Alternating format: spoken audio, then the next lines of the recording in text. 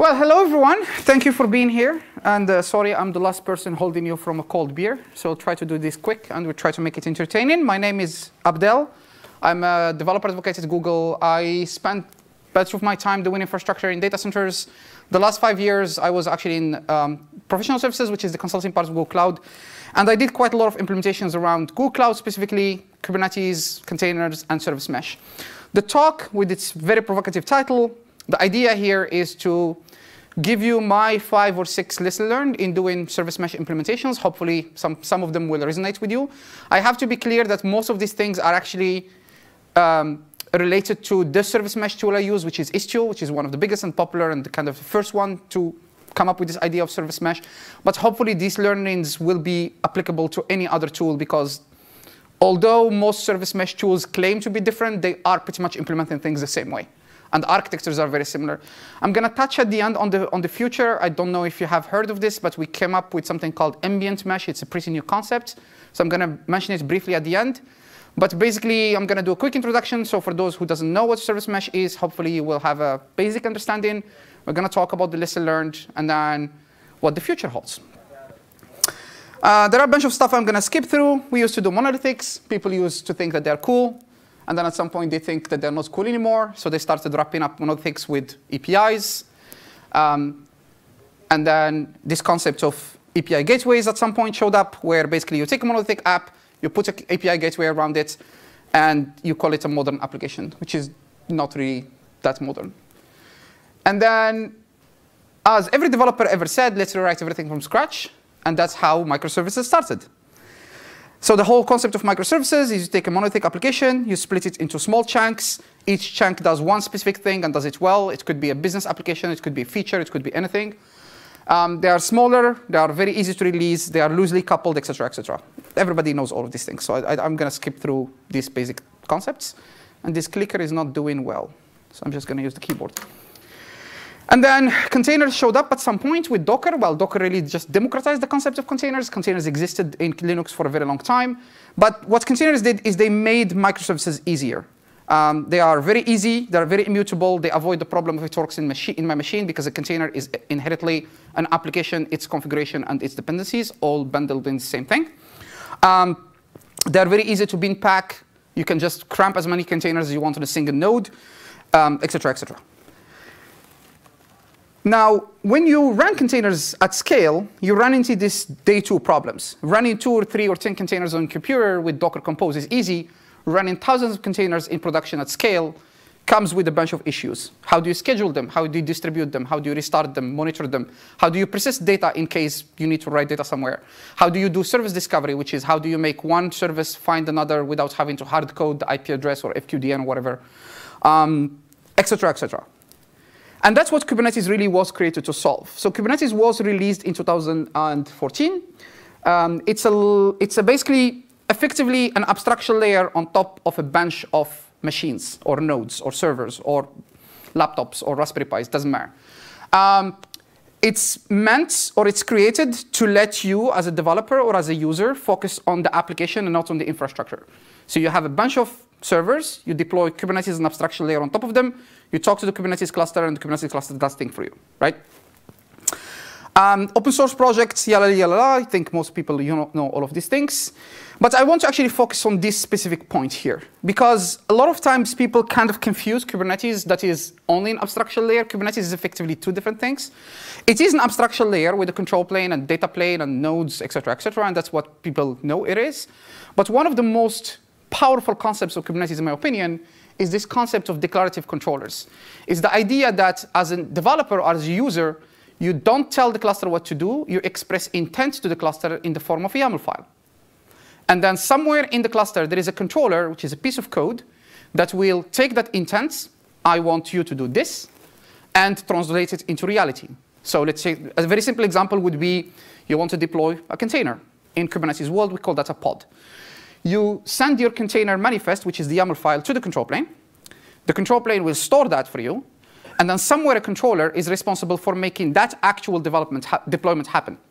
So it will trigger, and that's what we call the observed part. So it will monitor what the cluster tells it should happen and what's actually happening right now, so intent versus reality. It will compare the cluster is telling me I should have a deployment or I should have a pod or a container. There is no container right now, and it will act on that. So act is deploy the container. And this control loop concept applies pretty much everywhere in Kubernetes. If you have used Kubernetes before, you know that basically you write a YAML file, you submit it to the cluster. As long as your YAML file is valid and doesn't have any errors, things magically happen behind the scene, right? So very high level architecture of Kubernetes. It's important to understand this for the remainder of the presentation. You as a developer, or as a user, you will use an API or a command line or a GUI, or the combination of the three of them. You talk to what we call a control plane. A control plane is either one or three nodes or five or however you want to run. Inside, there are a bunch of components. The main ones are the four you see on the screen. The API server is the component to which you send your commands using the kubectl command line or the GUI or whatever. etcd is a distributed key value store. That's where the things you want the cluster to do will be stored. So that's where YAML files are stored effectively. Then the controllers is what I talked about. They basically monitor etcd through the API server, and they act when there is something that needs to happen. The scheduler does scheduling, right? It just finds a node to run your workload. On the workload side, or the worker node side, or the data plane side, however you want to call it, you have a bunch of components. The major ones are the kubelet, the kubeproxy, and the container runtime. Very briefly, the kubeproxy does network programming. It makes sure that the node is programmed properly such a way that containers can talk to each other. That's what the kube proxy does. It's not an actual proxy, by the way. It doesn't sit on the data path. When containers are talking to each other, they don't go through the kube proxy. They just go through the node. The kubelet, its job is to A, receive orders from the API server, and B, report the status of the node back to the API server. Then the container runtime, whether that's Docker, Containerd, Rocket, whatever container runtime you have there, will basically run the container for you. Now, all of this is actually kind of an indirect way of you doing a Docker run. When you do a Docker run on your computer, you are essentially talking to the Docker daemon, which runs the container for you.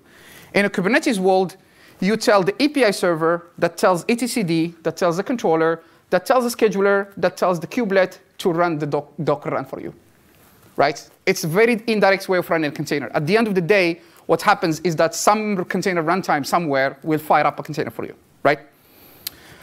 And then, you know, a bunch of extra magic. If a node goes down, the controller will detect that and will just redistribute your workloads across all the other available nodes, etc., etc.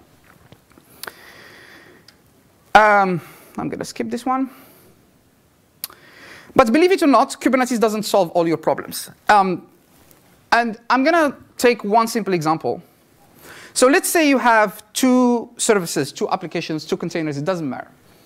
And they talk to each other over HTTP or gRPC or whatever, and then at some point, a security person comes to you and says, like, we want to add MTLS. Um, so for you who doesn't understand what MTLS is, MTLS stands for mutual TLS. It's essentially TLS, where a client verifies the identity of the server, but with MTLS, the server also verifies the identity of a client, right? So in normal TLS, which is what happens between you and google.com, for example, you as you as the client or as the browser, you are connecting to a server. The server sends you a certificate, and your client, which is the browser, verify that certificate and make sure that the server is who they say they are. In an MTLS world, you as the client, in this case service A, when you make that TLS call to the server, you are also sending your own certificates, which allows the server to verify your identity. That's essentially what MTLS is, right? So let's say you want to add MTLS. Very easily, if you have two containers, you can just mount a bunch of certificates into service A, mount, mount a bunch of certificates into service B, use a library, mount those certificates, and use them to make the call. Doing this at scale could be complicated. Doing it for thousands of containers could be complicated because if you have certificates, you have to issue them, sign them, verify them, rotate them, etc., etc. So at some point, some people came up with this idea saying, why don't we do a control plane that does cert management for us, right? So why don't we have that functionality of certificate management done by a centralized place or centralized component? And we can also make that centralized component do a bunch of things, like enforce policies. That control, control plane or controller or points or thingy can tell the service on both sides only accept calls from service A if they meet certain criteria criteria. I'm going to talk about a specific example. Or why don't we make that control plane also collect a bunch of telemetries or does some routing, etc., etc. And you can think about any sorts of policies that you will want to enforce between microservices can actually be done with a central control plane. Timeouts, you can, you can make the control plane tell a service to randomly timeout every now and then, or to do a retry, or to implement a circuit breaking, or anything like that. So for some time, these functionalities have been implemented through proxy libraries. Those are dependencies that you can import in your code and then you can make them do all these functionalities, eh, policy enforcement, certificate management, etc., etc. The problem with proxy libraries and the code dependencies is that if you work in a big organization and you are using five or six programming languages, you're effectively going to be using five or six proxy libraries that does exactly the same thing, but they're written in different programming languages. So you have to maintain them, and you have to patch them, etc., etc. right? And this is core to what a service mesh is. The whole point of a service mesh is to say, why don't we decouple those network functionalities from the application and have them implemented by a proxy, an actual binary which acts as a proxy. The proxy will sit in between all the applications. Services will send their traffic to the proxy. The proxy will implement all these traffic shaping, traffic management, policy enforcement features. And then the proxies will talk to each other over a secure medium like MTLS. And that's essentially what a service mesh is, or at least what the first iteration of Istio was. Istio came up with this idea where they introduced a control plane, which is just a pod, it's just a container that runs inside Kubernetes.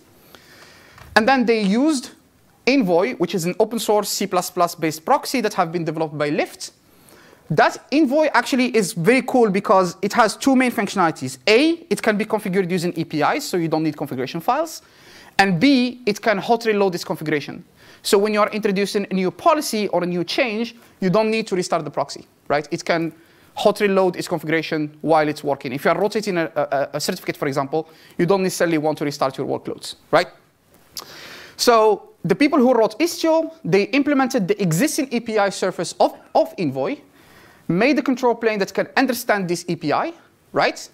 and then made the API accessible through the Kubernetes API, such a way that as a user, you continue using the same concepts in Kubernetes, you still write a YAML file, send it to your Kubernetes cluster, then your Kubernetes cluster will hand it off to the control plane of Istio, which then will translate whatever configuration you say into something that the Envoy proxy understands. And I'm going to talk about specific example later.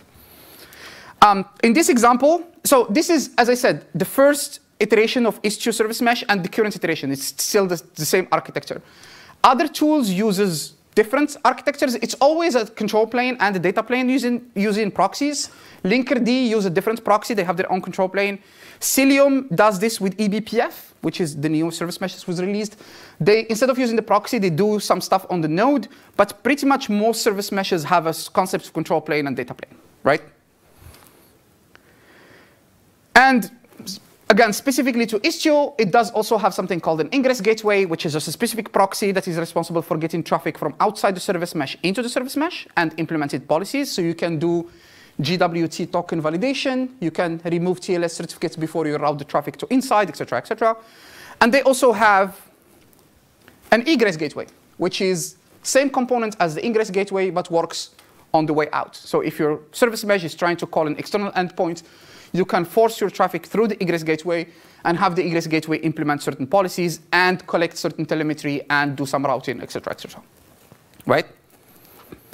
Now, let's take a very specific example. This is just, again, Istio specific, but most service mesh have something like this. This is called traffic splitting. So say I have a service B version 1. I'm introducing service B version 2. And I want to do a canary deployment. I want to send 95% of my traffic to version A, 5% to version B. I have to use, in, in the Istio world, there are two objects you use. One of them is called the virtual service. It essentially just says virtual B exists in two versions, version one version two. And then the destination rule, which is an object that, uh, sorry, the other way around. Destination rule declares the, the, the subsets, and then the virtual service says 95% of traffic goes to version one, 5% of traffic goes to version two, right?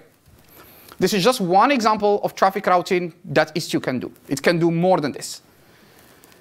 And by the way, to be very precise, the reason why these things are possible with the service mesh, and the reason why we call it a service mesh, is because every single container, every single instance of your application has an envoy running alongside it. Right? That's what we call that a sidecar in Kubernetes. But essentially, there is as many containers, envoy containers, as many application containers. And there is a one-to-one -one mapping between them, right? So when you do something like a canary deployment, because all the traffic goes through the sidecars, we are actually implementing a real 95.5%. Because the sidecar on the way out will do will count 95 requests going to version one and then five requests going to version two, right? And then in case you update that object and you say, well, now I'm confident my version two is good and I want to do 10% of the traffic. You just have to update these values, send it to the cluster, and then on the spot, on the flights, the traffic will be split according to the weights you have defined. Um, you can also do fault injection. These are just another example. You can say, I am introducing a fault for five second delays on 0.1% of my traffic. So every 1% of my traffic, I want to have a five seconds delay on this service so I can see how the client reacts when there is a delay on the new version of the service, right? And you can do timeouts. You can do a bunch of interesting things. Istio have been created specifically to run on Kubernetes. Most service meshes actually run on Kubernetes, although sometimes they claim they can do VMs. They do VMs, but they mostly are designed for Kubernetes. Um, because it leverages a lot of these Kubernetes native ways of doing things. The control plane is just a pod. The proxy is just a container running inside the pod where your application is, right? And then your configuration is a YAML file, basically similar to how you deploy things in Kubernetes and how you define services, et cetera, et cetera.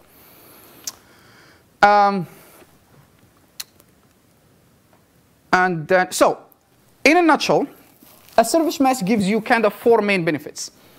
The, the, ability to connect things together, so the ability to connect services to each other and do service discovery out of the box. The ability to secure traffic by introducing MTLS the ability to control the, the traffic by introducing traffic routing, timeouts, etc., etc., and then observing. You can collect a bunch of telemetries and then store them somewhere and then observe them and see how the service mesh is reacting, right? Now, what are the drawbacks? What are the, the four main challenges that, in my opinion, service meshes still have today? So one of them is capacity and resources. A service mesh runs proxies with your application containers, and those proxies have a footprint. They consume CPU and memory, and you have to keep that in mind, right? There is network latency. Whenever there is a proxy, there is network latency. There is no way around it. Um, there are certain challenges with how you design an architecture service mesh such a way that it's kind of scalable from day one if you want. And then once you have a service mesh tool deployed, it will give you a bunch of data and telemetry and logs. And in order to take advantage of those, those information, you will need to deploy extra things, and that's what I call auxiliary infrastructure. You need to deploy extra pieces of software, extra things in order to collect telemetry and store it and visualize it, etc., etc. I'm going to walk through each of those separately. I'm realizing I'm going fast, so we should try to slow down a little bit. So, capacity and resources. Um, taking, this is just a snapshot from the Istio benchmark on the latest version. Every, almost every service mesh tool that exists deploy, publishes some sort of benchmark. You can look it up. Linkerd have one, Cilium has one. And they all, because the tool that is used to do benchmark is an open source tool. It's a service mesh tool that is, uh, so it's an open source service mesh benchmarking tool that can actually use to run against pretty much all service meshes. So in the case of Istio specifically, if you have um, a service mesh with 70,000 requests and 1,000 services. So if you have 1,000 services, basically 1,000 containers, you will have 2,000 in total because 1,000 application containers and then 1,000 si uh, uh, Envoys sidecars. So that's 2,000 containers in total. And at 1,000 requests per second per service, each proxy consumes 0.35 vCPU and 40 megabytes of memory. Now, at a single service scale, that doesn't sound like much, but at a 1,000 services scale, that's almost 35 vCPU and about 4 terabytes of memory, right? So the resource footprint that the sidecars will consume is quite significant. And you have to keep that in mind. Both when you are designing, because when you run in the cloud, the cloud is not unlimited, and you have to do capacity planning, and you have to make sure you have enough capacity to run your workloads. And also in terms of how much you're going to spend on using a service mesh, right? So there is basically a cost to benefit analysis you have to do about how much am I going to actually spend on running this versus the benefits I'm taking from it. And just a side note, about 80%, this is a very rough number, I don't have the exact data, but about 80% of projects I worked on where service mesh was introduced, those introduced to do MTLS. So customers go like, oh, this thing can do MTLS, let's use it. So they basically install a thing or a service mesh that does a lot of features. They use it only for MTLS and they end up spending quite a significant amount of resources on a single, very simple feature, right? So that's something you have to keep in mind. Then istiod, which is the control plane, consumes one vCPU and 1.5 gigabytes of memory per instance. It does auto-scale because it's stateless, so you can just have multiple replicas if you have a big service mesh. So of course, the more service mesh, the, the more, the bigger your service mesh is, the more your control plane is gonna, the bigger your control plane is gonna be. Latencies. Um, again, same thing with Istio, just numbers from Istio. I, I, I, bet you can find numbers for other service mesh tools. Um, between 1.7 and 2.7 milliseconds at 90 and 95 percentile, um, uh, 90 and 99 percentile uh, traffic. So again, probably not that significant, 1.7 milliseconds, but in some applications it have been. Um, in my opinion, one of the most common use cases where latency was a problem was when you are deploying a tool that's, that fires up containers very quickly. So I'm, i can take very ex so simple example. Uh, Argo is a known software that has multiple, that, like, it's a community that have multiple pieces of software. They have a CI/CD pipeline, but they also have a data, data transformation or data orchestration tool. It just allows you to essentially deploy a data orchestrator that triggers on events, do some transformation on data, and then stores the results and die. So essentially, it's a control plane that just fires up containers to do specific things. When we, when we used that with Istio Sidecar, the 1.7 and 2.7 milliseconds became a huge problem because suddenly an operation that takes 20 milliseconds takes 22 milliseconds. Or a container that only takes 60 seconds to run will take two minutes to run, right? Third one is design and architecture. This is just a very simple, complex example of you can. One of the things, actually, one of the advantages of service mesh is that you can do um, a global service mesh, so you can have multiple clusters in multiple zones and have one logical service mesh spanning across all of them. And the reason why you want to do this, for example, is imagine you are the FIFA World Cup and you have your website where you sell tickets. You, you might be able to deploy all the services in all the regions so that user latency is low. But at some point, you want to take down one microservice. So let's say this blue microservice in Japan, we want to take it down to replace it. We can still instruct the service mesh to say, if the local service, microservice is not available, route to the nearest one. The problem with this kind of designs is that this is a one or nothing choice. You have to decide day one if you want to do this, because if you don't and you end up designing with single region, expanding into multi-region can be a problem, right? And vice versa. So if you start day one saying, I want to do multi-region, and then suddenly you say like, I don't care, I just want my data to be in Europe because you know uh, we don't like the Americans, that could be a problem, right? So, so, so basically the point here is that your design and architecture choice can be difficult to make in the beginning because it's hard to change things going forward. Different service meshes are trying to solve this problem in different ways, but they all have drawbacks. So kind of a balance, it's again a balance that you have to strike. And the last but not least is this auxiliary infrastructure I talked about. So Istio runs on Kubernetes, that's the main story, but now you need to visualize your service mesh. They have this tool called Kiali, which is like a GUI that can allow you to visualize the service mesh and see which services talk to each other. That's a workload. You have to run that, and you have to spend CPU and memory on it, and you have to maintain it and patch it, etc. You have Jaeger for tracing. Again, software. You have to install it, maintain it, blah, blah. You have Prometheus and Grafana for monitoring and, and uh, for monitoring basically. Install it, maintain it, etc. So all these like extra pieces of infrastructure that you're going to deploy in order to take advantage of what the service mesh gives you out of the box is things that you have to pay for, maintain, have people take care of it, patch it, etc. So that's something you have to keep in mind. So in a nutshell, these are the why nots, in my opinion. So don't take a simplistic approach. Don't say we need security. So this is a this this this is coming from a very um, typical conversation I was having when I was a consultant with customers. Can this thing do security? Yes. Can it do MTLS? Yes. Um, is MTLS a pain to manage without service mesh? Yes. So let's use it. Right. Very simplistic approach without taking in, in consideration all the stuff I talked about. Um, Sometimes your service mesh is not compatible with your application. The case of Argo CD I talked about earlier is one simple example where, um, the, uh, by the way, if you are on Kubernetes, you know that this is this common problem which haven't been solved yet in a Kubernetes environment. If you have a pod with multiple containers, you cannot decide in which order they start. You cannot orchestrate the order yet.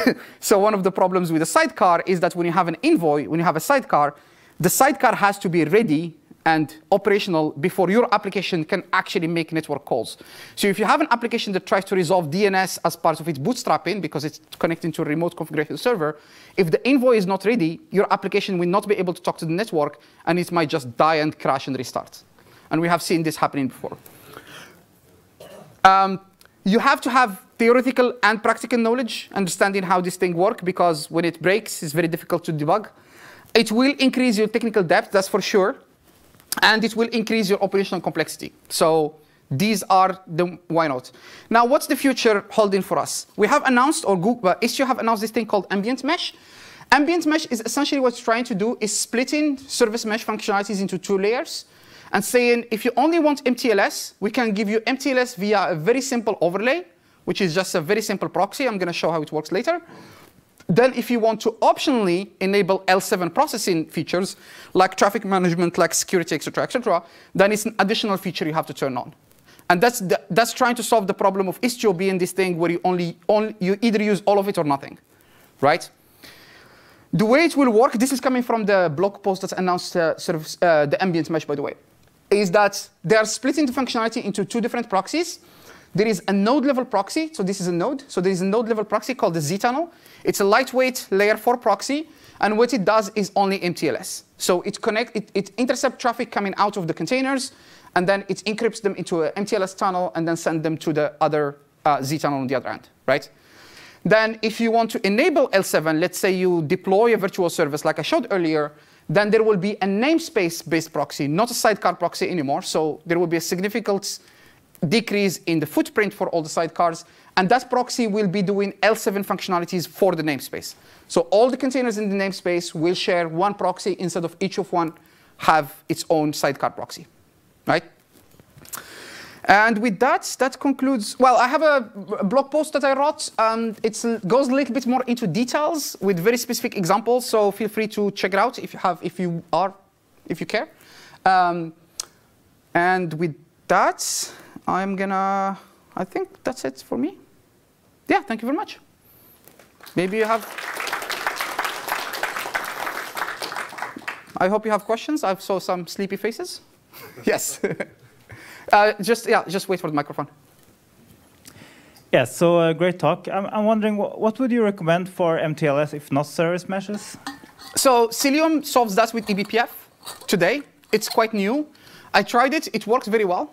Um, so that could be one option. You don't want to do MTLS manually, right? That's the, the, TLDR, you don't want to do that manually. And I think I have seen that Cert Manager is trying to solve the same problem because Cert Manager effectively distributes certificates. And they were talking, I don't think, I, I don't know if it's preview or something, but they were trying to solve the same problem, which is distribute certificates essentially to workloads. Yeah, uh, I went to the Cilium uh, talk to, uh, today, yeah. Uh, and um, is it mature enough? Uh, the ambient mesh. I would assume no. It was released back in KubeCon Valencia in May, so probably still not as mature. Even the ambient mesh that will be released by Istio is still in preview. So I would probably give it a year or a year, or a year and a half before it becomes mature and stable enough to be used in production. Make sense? Yeah, I guess it makes sense. So we're stuck with service meshes still. yes, yes, yes, exactly. Good point. Any other questions? Do you have any questions online?